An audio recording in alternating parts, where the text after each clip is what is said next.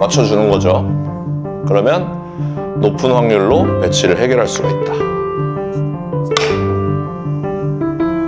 내공이 먼저 빠져나가기 때문에 키스가 거의 없다. 팔로우를 깊게 넣어줄수록 내공이 힘이 남아서 이렇게 활기차게 들어올 수가 있습니다.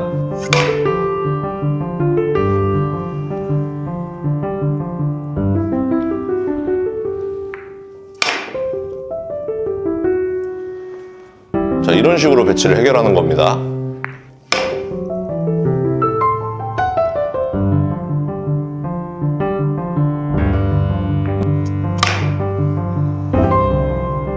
자, 이런 그림이죠.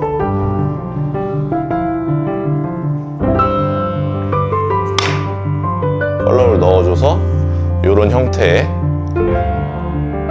공을 만들 수 있다는 점.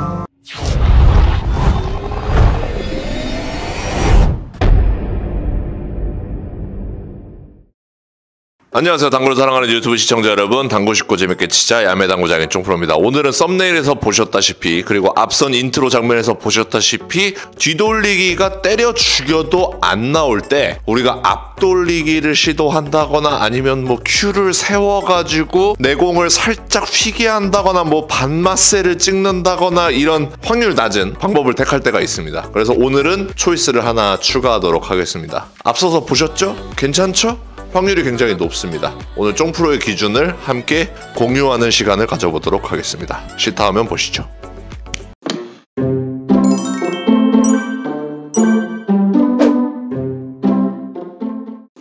자, 상담 카메라로 왔습니다. 오늘 공부할 내용은 우리가 뒤돌리기, 아주 기초적인 뒤돌리기를 만났을 때 예를 들어서 자, 이렇게 생긴 뒤돌리기를 만났을 때 편안하게 뒤돌리기를 해결할 수가 있습니다. 그렇죠? 자, 지금은 그렇게 얇은 두께를 노릴 필요도 없고 한 4분의 1 두께에서 정상적인 회전을 주고 이렇게 치게 되면은 큰 무리 없이 해결을 할 수가 있습니다. 그렇죠?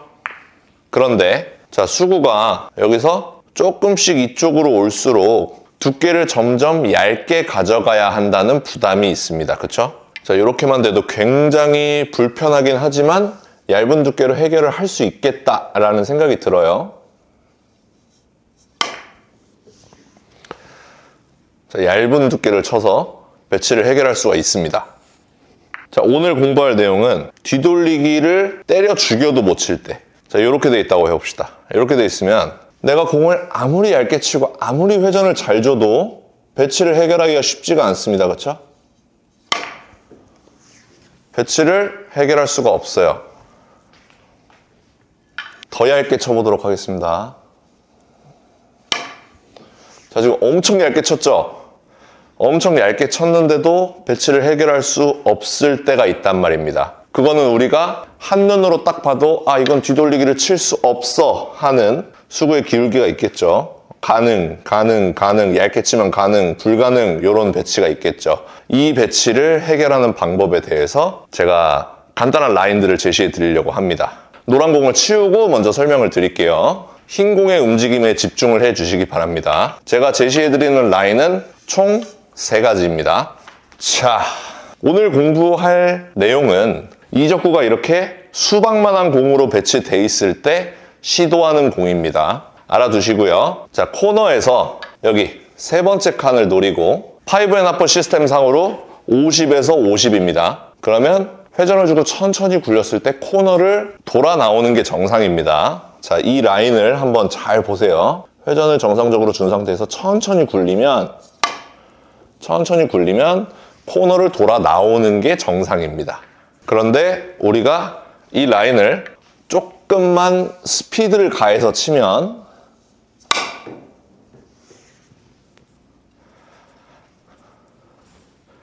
높은 확률로 빨간 공을 맞출 수가 있습니다. 자, 이 라인을 기억해 주세요. 첫 번째 라인입니다.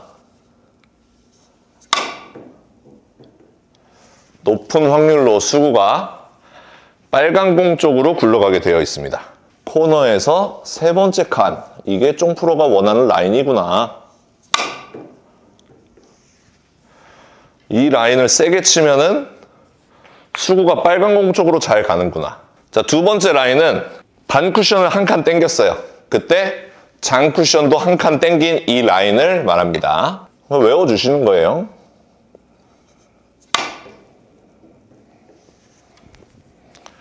그러면 수구가 높은 확률로 빨간 공 쪽을 향해서 가는 걸 보실 수가 있습니다.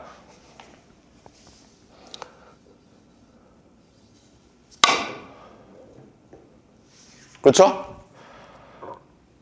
계속 빨간 공 쪽으로 가고 있죠. 세 번째 라인은 자, 세 번째 라인은 단 쿠션을 한 칸 땡기고 장 쿠션은 반 칸 땡긴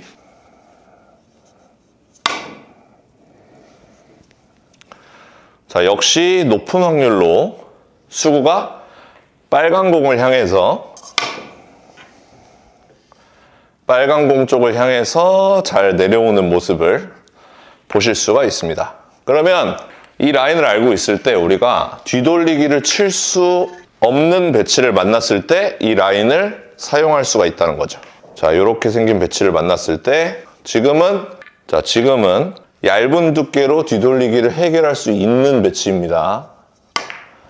얇은 두께로 뒤돌리기를 해결할 수가 있는 배치예요. 그쵸? 자, 수박만한 공이 있을 때 이렇게 뒤돌려치기 부담스러운 배치를 만났을 때 이 라인을 바라봐 주세요. 이 라인을 태우기에는 그렇게 부담스러운 두께가 아닙니다. 그러면 이 라인을 힘있게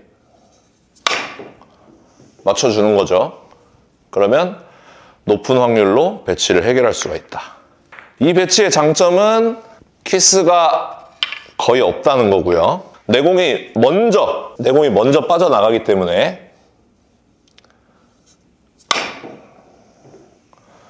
내공이 먼저 빠져나가기 때문에 키스가 거의 없다.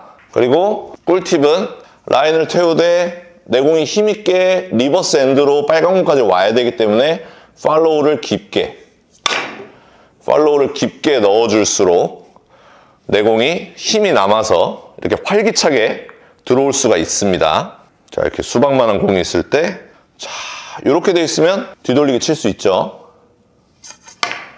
이렇게 치면 뒤돌리기가 해결이 되잖아요. 자, 이렇게 돼 있다면 뒤돌리기 부담스럽죠. 이럴 때 사용하는 겁니다.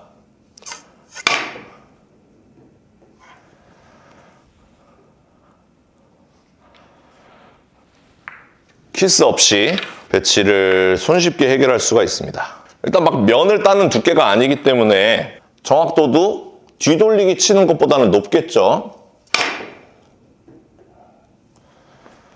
자, 이런 식으로 배치를 해결하는 겁니다. 키스가 없죠? 특정 상황에서만 이 배치를 시도하기 때문에 키스가 없다고 생각하셔도 무방합니다. 자, 이렇게 생긴 배치를 만나면 어, 이거 얇게 치면 뒤돌리기 칠 수 있는데? 그쵸? 얇게 치면 뒤돌리기 해결할 수 있겠다.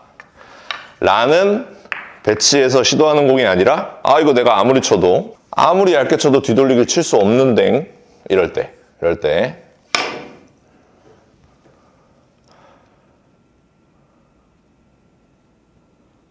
높은 확률로 배치를 해결할 수 있겠습니다. 다시 한번 자, 이런 그림이죠. 자, 그래서 1적구가 이렇게 이 라인 안에 있을 때 시도를 해주시면 좋겠고요. 제가 오늘 제시해드린 라인들을 참고해서 아, 요쯤 맞추면 되겠구나. 뒤돌려치기가 좀 깝깝한 배치. 그때 회전을 살리고 팔로우를 넣어준다. 팔로우를 넣어줘서 이런 형태의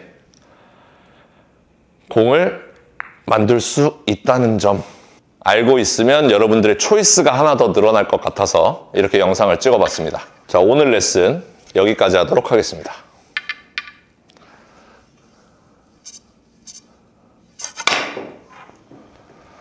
자, 치다 보면은 감이 옵니다. 내가 이 정도 스피드에 이 정도로 때려놔야 이런 형태를 보인다. 오늘 구장에서 꼭 연습해 보시기 바랍니다. 자, 오늘 영상 도움되셨다면 좋아요 한 번씩 눌러주시고요. 많은 분들에게 카카오톡으로 공유 부탁드리도록 하겠습니다. 오늘도 시청해주셔서 감사합니다. 당구 싶고 재밌게 치자. 야매당구장의 종프로였습니다. 감사합니다.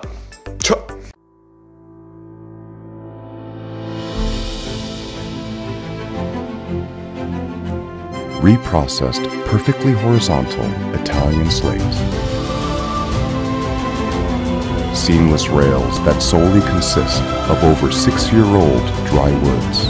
Heating system provides consistent temperature anywhere.